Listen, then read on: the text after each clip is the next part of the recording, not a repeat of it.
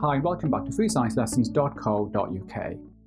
By the end of this video, you should be able to draw a ray diagram to show how a convex lens can be used as a magnifying glass.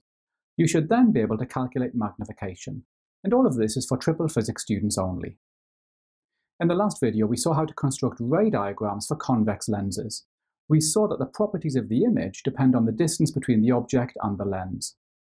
If an object is more than two focal lengths from the lens, then the image is diminished, inverted, and real.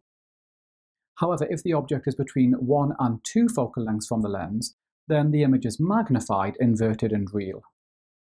So in this video, we're looking at a third possibility. In this case, the object is less than one focal length away from the lens. In other words, the object is very close to the lens, and this is how a magnifying glass works. So let's take a look at the ray diagram. Here's the object, and as you can see, it's between one focal length and the lens. We start by drawing a ray of light from the top of the object through the center of the lens. Remember that this ray does not change direction. Now draw another ray from the top of the object running parallel with the principal axis. This ray passes through the principal focus. Now you'll notice that in this case these rays do not meet. So how do we show the image? Well now we draw dotted lines to extend the rays behind the lens like this. We're using dotted lines because these do not represent the actual path of the rays. Where the dotted lines meet shows us the position of the image. Now this image has three key properties and I'd like you to try to work these out. So pause the video and try this yourself. Okay, well firstly the image is magnified. As you can see the image is much bigger than the object and that's why this shows a magnifying glass.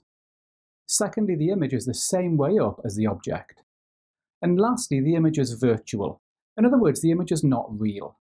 Now we can tell that because the rays do not actually meet at a point. They only appear to meet.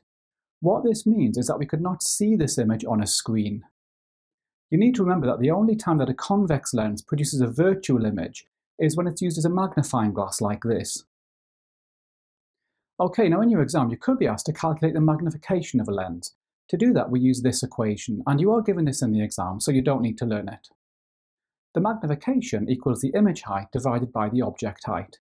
And remember that magnification is a ratio, so it's got no units. Here's a question for you to try.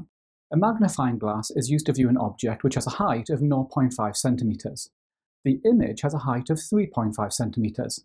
Calculate the magnification. So pause the video now and try this yourself. Okay, the magnification is the image height divided by the object height. In this case, the image height is 3.5 centimeters, and the object height is 0.5 centimeters. Dividing 3.5 by 0.5 gives us a magnification of 7 times. Remember, you'll find plenty more questions on lenses and magnification in my Vision workbook, and you can get that by clicking on the link above.